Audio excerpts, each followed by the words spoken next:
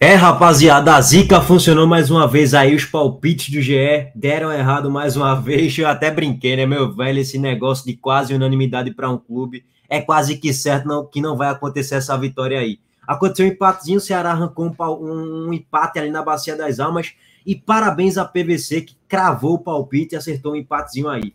Dito tudo isso, Ceará corre sérios riscos de ser rebaixado para a Série B. E vamos dar destaque, óbvio, a possíveis punições que tem tudo para acontecer, tá, pessoal? Só para dar um spoiler da, do, do meu achismo, literalmente.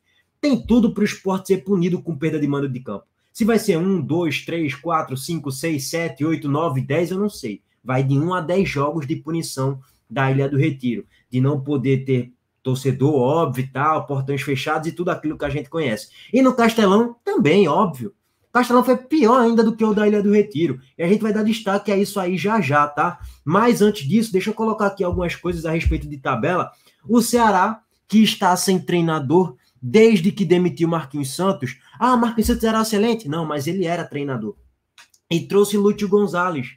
Só que Lúcio Gonzalez, pessoal, não é treinador de futebol. Ele é um estagiário. Até então, antes dele chegar no Ceará, ele não tinha trabalho nenhum. Ele não é. É porque tem gente que não se toca numa coisa. Lúcio Gonzalez, ele é um estagiário. É a mesma coisa. Você vai colocar um estagiário para construir, sei lá, um prédio de 500 andares, irmão, você não vai, velho. Um estagiário? Não, você tem que colocar um cara que já tem uma bagagem. Por quê? É o momento. É o momento. O momento era, mano, eu tô brigando para não cair eu tenho que contratar um técnico que tenha algum trabalho ali minimamente decente para eu contratar, ter algum trabalho, mas não tem nada. Robson de Castro foi péssimo nessa decisão. Tomou uma péssima decisão em contratar Lúcio Gonzalez.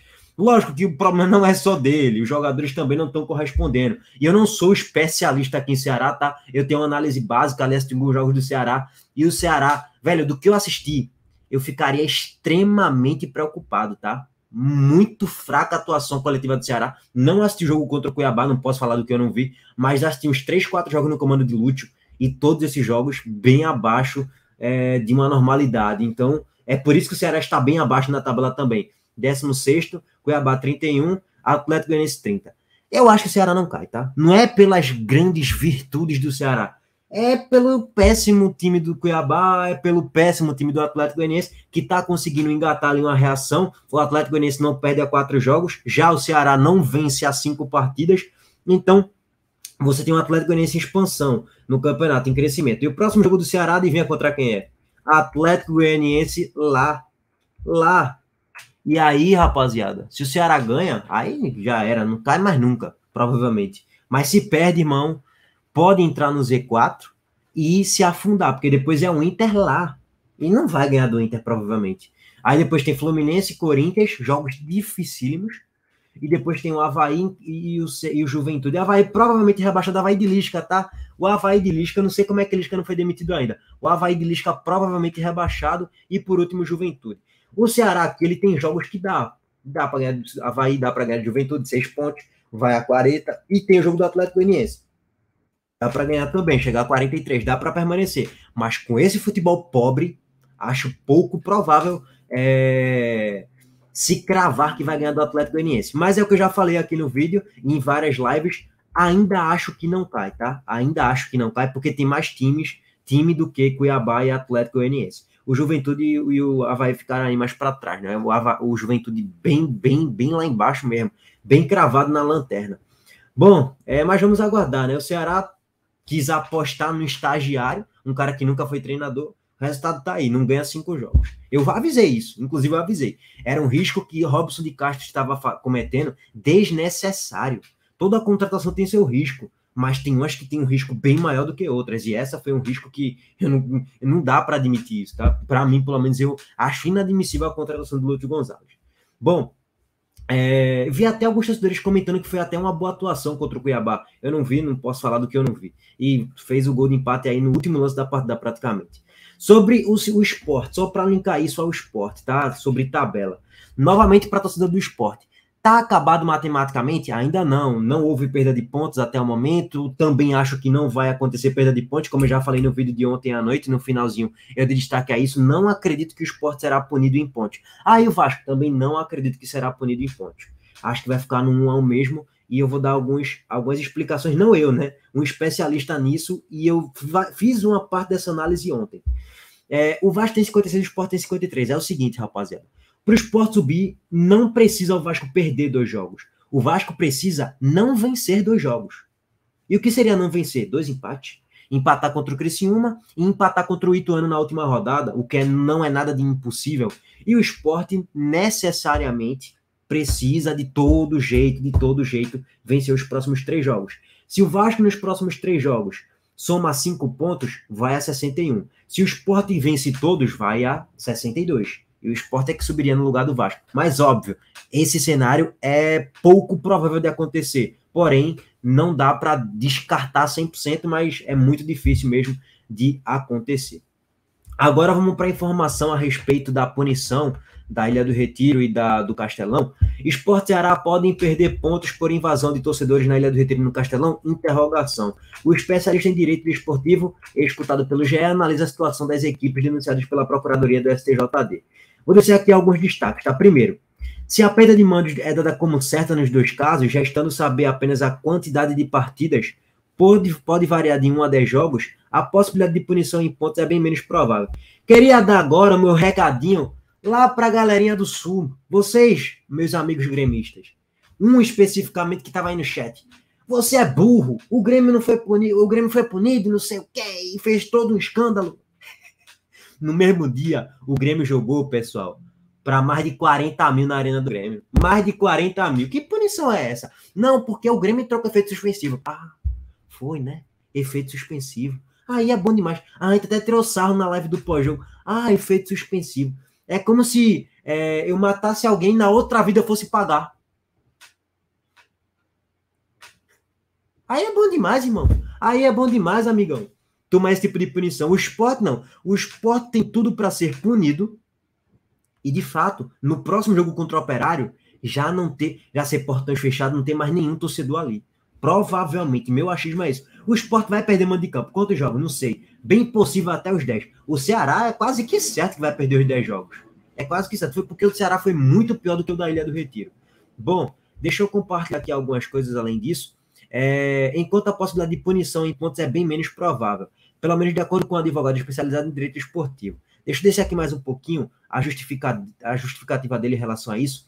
A perda de pontos eu não acredito. O artigo 19 do Regulamento Geral das Competições da CBF fala que uma parte da sua poderá ser adiada, interrompida ou suspensa caso ocorra falta de segurança ou conflitos ou distúrbios graves no campo ou no estádio.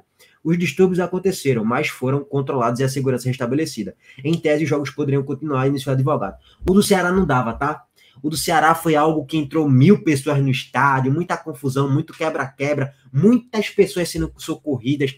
É, foi uma circunstância diferente. Me corrija se eu estiver errado. Acho que até Luiz Otávio estava é, chorando, não sei. O zagueiro do Ceará, posso estar até equivocado no que eu estou falando agora. Foi uma situação diferente. O da Ilha do Retiro, pessoal, não teve um único torcedor que invadiu as quatro linhas. A confusão que aconteceu foi da placa de publicidade para trás. A polícia militar conseguiu conter muito rápido e muito bem. Não teve nenhum jogador do Vasco sendo agredido, não. Alguém ali pegou Raniel ou pegou outro jogador e deu algum murro. Não, não aconteceu isso. Porque não aconteceu isso. Então, foi contida. E outra. Aí eu queria dar destaque aqui, isso aqui, tá? É, aqui, ó. Fato de segurança, conflito distribuiu Os distúrbios aconteceram. E a partida poderia continuar. A do esporte poderia continuar assim, pessoal. Lógico, depois de cinco minutos do acontecido, óbvio que não dava para continuar. Ainda o clima tinha. Todo mundo estava no estádio, muito clima ali tenso, beleza. Mas depois de 30 minutos, 30% da Ilha do Retiro é que estava preenchida, tinha 6 mil torcedores.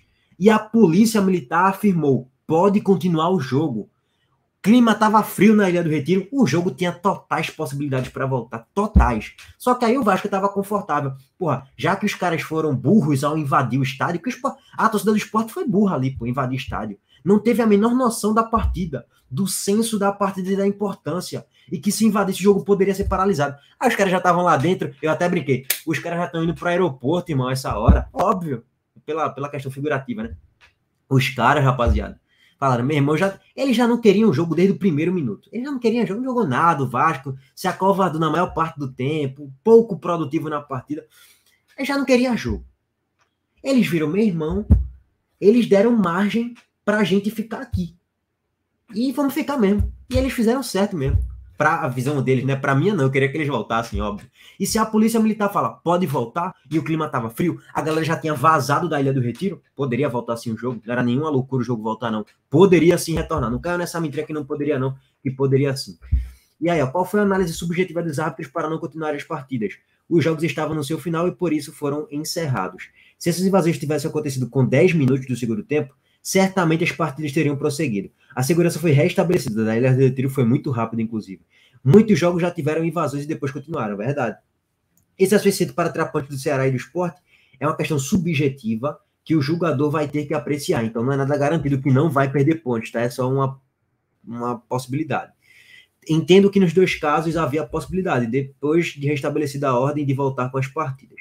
E aqui, só para complementar mais uma coisa, outro ponto observado que eu falei isso ontem, pelo advogado muito ouvido pelo GE, é que, em tese, é, contra a possível perda de pontos, é, é, que, em tese, vai contra a possível perda de pontos de Ceará Esporte. É a terminologia usada pelos árbitros nas súmulas das partidas. Isso porque ambos os jogos foram dados como encerrados. Até falei, na súmula tá como encerrado, tá 1 a 1 placar final 1 a 1 e não suspensos. Como está escrito no, no CBJD e do Regulamento Geral das Competições da CBF, em que os dois clubes foram denunciados. Então, é, Lógico, não é nenhuma garantia que não vai acontecer nada, mas eu acho que não vai acontecer nada. Vai ficar no 1 a 1 mesmo. É, poderia ser um WO, um WO não, poderia ser um 3 a 0 caso é, eles entendam que o esporte foi que provocou toda aquela confusão e tal. Qual foi o motivo dado pelo Ceará Esporte para as partidas não ocorrerem? Eles não impediram. Eu não vi nenhum dirigente dos dois clubes afirmando que a partida não poderia prosseguir. Pelo que vi, as autoridades policiais, quando tiveram toda a confusão, era possível continuar os jogos. Além disso, os jogos foram dados como encerrados, não foram suspensos, afirmou. Enfim, é isso, tá, rapaziada? Falei rápido aqui para não deixar o vídeo tão longo. Tamo junto, comenta o que é que tu acha, ativa o. Abraço aí, a gente volta mais tarde. Valeu.